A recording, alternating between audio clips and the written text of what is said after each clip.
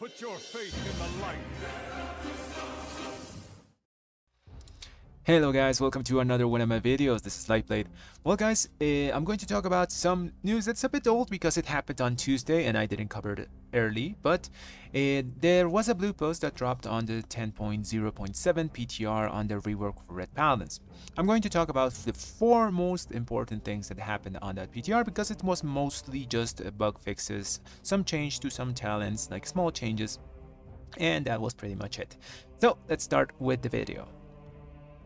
Okay, so the biggest change was to Retribution Aura. Basically, they redesigned it, and now instead of giving you the buff for 10 seconds uh, whenever someone takes more than 30% in one hit, it now gives you the buff for 30 seconds decaying over that period of time. So this means that the playstyle which you were going to be like Aura dancing and changing from Devotion Aura to Retribution Aura is basically dead, and this is a good thing because that was going to be really, really annoying for the Retribution Paladin that had to do it.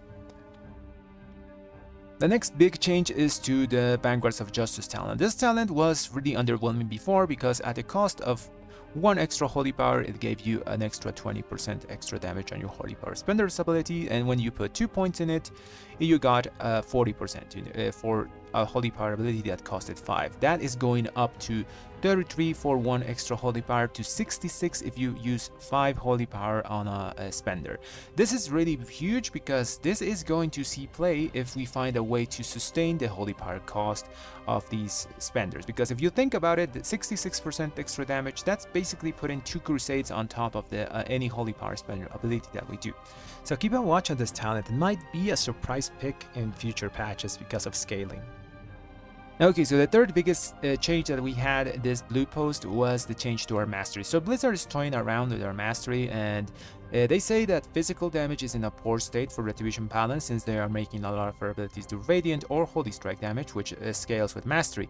So uh, I'm thinking that, that this is just an unnecessary change because, well, physical damage has always been in a bad spot for Retribution Paladins. It's been like, in Legion I remember it was like 90% magical, 10% physical, and BFA it was 95% magical, 5% physical, and Shadowlands it went back to 10% physical and 90, 90% magical, and now in Dragonflight we have a bit more physical damage, but I still think it's like 90-10, like the, the ratio.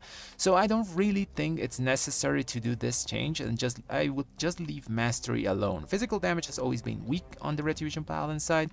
So I'm hoping like Blizz reverts this change because in uh, last build I had 48% mastery, now I have 37. So while this increases the value of other stats like crit, haste, and versatility, it lowers our value of our mastery, which was a big point of damage in the previous expansion. So I hope they do revert this, and they're saying they're just playing with the idea, so maybe they do. Okay, and the last part that we're going to talk about here, and I think the most important one, because this talent had a lot of, like, uh, it's a lot of missed opportunities, I think. Templar Strikes, this replaces Blessed Hammers. Uh, Blessed Hammers was kind of useless, so it's good to, that we have this. It's a pretty interesting replacement. Crusader Strikes becomes part of a three-part combo and deals Radiant damage. The Radiant damage is nice because it can actually pair well with the Radiant build with Burning Crusade and Searing Light to increase its damage. It also interacts with Blessed Champion, it makes each of the parts of the combo do AoE damage on those extra targets and deal reduced damage.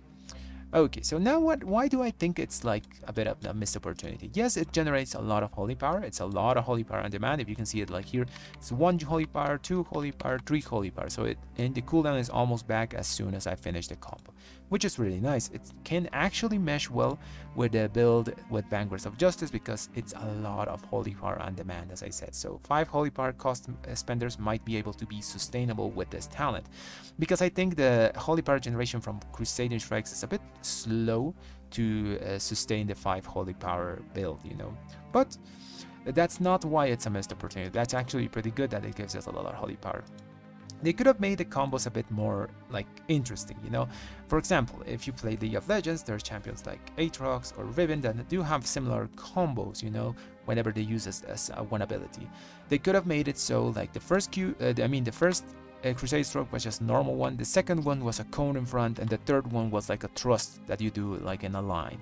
And puts maybe like on the third one a small CC at the end, like a dis disorient effect on that line that you do or something like that. I'm not, I, I don't want them to put a stun because there's so many stuns in the game that you can you kind of DR mobs a lot, but uh, the disorient effect is harder to uh, to like get that DR, you know. And if they do not want to put like any type of uh, extra damage, I mean, I mean extra CC on the combos, they could have made it so like whenever you use a combo, the next, let, let's say Divine Storm deals 10% damage. Then you use another one, and the next ability does 10% extra damage. And then you use the last one, and it does another 10%. So that way you, we, we could like weave in between abilities to get extra extra power from the combos, you know? That's just my opinion. It might have been like a more interesting way of doing it, but still it's a pretty decent talent as it is, you know. It's not anything flashy, but it's going to give you a lot of holy power on demand. And well guys, that's going to be all for the video today. Let me know down in the comments what do you think about my that, that last idea I had, like making the Templar strikes a bit more interesting. Do you agree with it? Do you disagree with it? Do you have a better idea maybe? Let me know down in the comments below. And well, if you like my content, it subscribe to the channel and leave a like on the video. Thanks for watching everyone.